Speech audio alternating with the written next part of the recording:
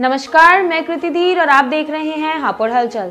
उत्तर प्रदेश के जनपद हापुड़ के बालिका इंटर कॉलेज में मतदाताओं को देश के मज़बूत लोकतंत्र के लिए जागरूक करने के उद्देश्य से एक कार्यक्रम का आयोजन किया गया।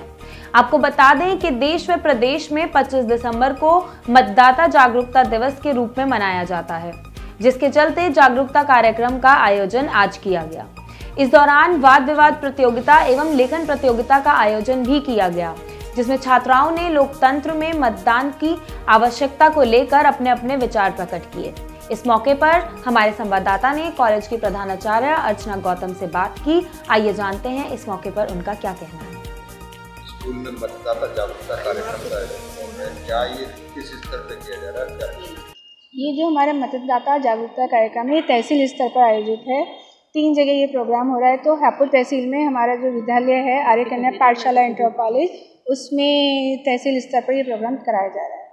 तो इसमें क्या क्या बातें एक्चुअल में आज जो है हमारा निबंध प्रतियोगिता और वाद विवाद प्रतियोगिता है। तो इसमें विभिन्न विद्यालयों से बच्चे यहाँ आए हैं जिन्होंने निबंध प्रतियोगिता में भी पार्टिसिपेट किया है और इस समय हमारा वाद विवाद प्रतियोगिता चली रही है जिसमें आपने भी देखा है। तो ये इस तरीके से प्रोग्राम चल रहा है।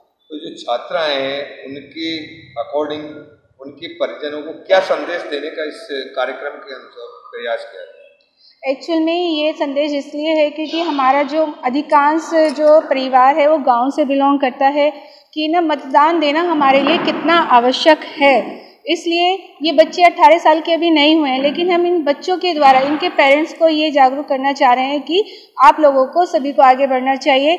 इसी वजह से 25 जनवरी को भी मतदाता जागरूकता दिवस के रूप में मनाया जाने लगा है, क्योंकि कहीं ना कहीं हम ही परिवार के लोगों में और हम सभी में कहीं कमी है कि हम लोग मतदान को नहीं कराना चाहते हैं, नहीं करना जानते हैं। तो इस वजह से इस प्रोग्राम का एक जो मिशन है, वो अभियान चलाया जा रहा है, जिससे कि जो बच्चे हैं बच्चे ही देश का भविष्य होते हैं और बच्चे अपने परिवार को अपने जो गाँव के लोग हैं शहरों के लोग हैं आसपास के जो लोग हैं उन सबको जागरूक कर सके। मेरा नाम श्रीमती बीनू जैन एडवोकेट जैन साहब आज यहाँ स्कूल में आपने मतदाता जागरूकता कार्यक्रम चल रहा है क्या कहना चाहिए ये अपना जो मतदान का अधिकार है मैं सोचती हूँ इससे बड़ा अधिकार कोई नहीं हो सकता क्योंकि हमें इस बात का एहसास कराता है कि हमारी पावर क्या है उस देश के अंदर। हम अपनी सरकार चुन सकते हैं और इस बात को लेकर जो बच्चों के अंदर आज जागरूकता पैदा कर रहे हैं, हम लोग यहाँ बैठ के इस विषय पे वो लोग अपने विचार हमें सुना रहे हैं।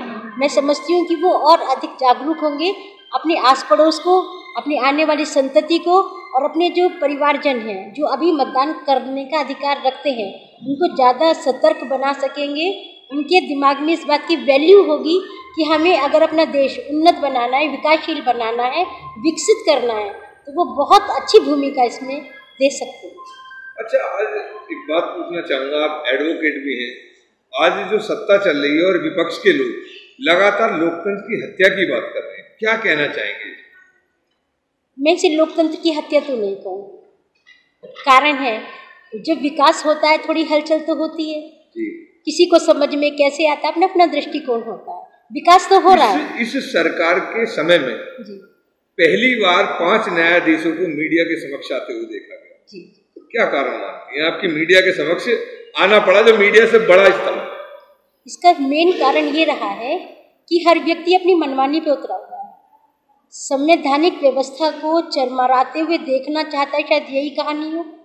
अदरवाइज़ ऐसी कोई भी ज़रूरत ना थी, ना कभी होगी भविष्य में।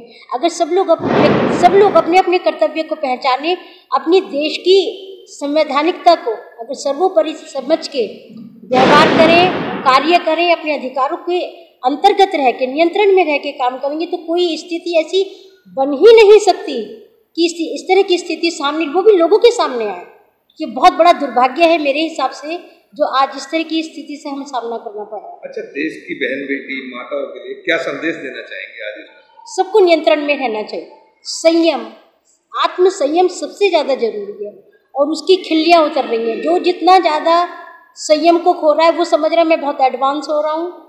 मैं पश्चिमीकरण करके ये समझ रहे हैं कि हम अपने देश की मैं कहती हूँ कि इससे बुरी स्थिति हो नहीं सकती। आप किस चीज़ को विकास किसको समझ रहे हैं? पश्चिम की तरफ़ आप दौड़ रहे हैं, ये विकास है? ये विकास हो ही नहीं सकता।